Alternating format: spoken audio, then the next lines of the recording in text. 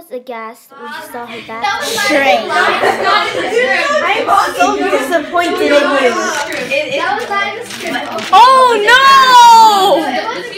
Shreya is a very ethical person because she has good hair. So today we're learning. Oh! Thank you so much, Shrey. You're so good. Everyone ignored Rebecca because her scream were inaudible. Inaudible means unable to be heard and is an adjective.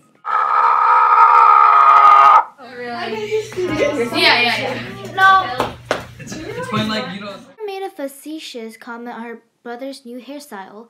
Facetious means not meant seriously and is an adjective. Hey, you like it? That looks like a donkey's tail. Plausible, reasonable, logical, fair, adjective. Shreya's implausible thinking made her teacher very disappointed. What is 9 plus 10? Shreya, 109! Oh, I like your thinking! These people are so stupid. During Sharon's test, her teacher gave her ample of time. Ample means plentiful or more than enough, and is an adjective. Okay, class, so today we have a test, and it's an open-ended test, and we have five questions. You have three hours to get it done. Chop, chop.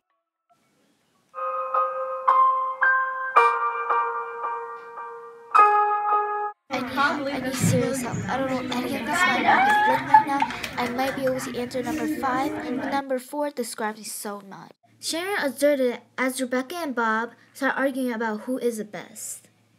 Asserted means stated confidently and is a verb. I'm better than you. No, I'm better than you. Better than you. No, I'm better than you. No, I'm better. I'm better, okay? No. Yes. I'm better than you, okay? Look at my beard, okay? You know what? Food is better. Phyllis cowered down under the table in fear that her mother would find out about her bad grade. Cower means hid, crouch down, shrink away in shame or fear, and is a verb.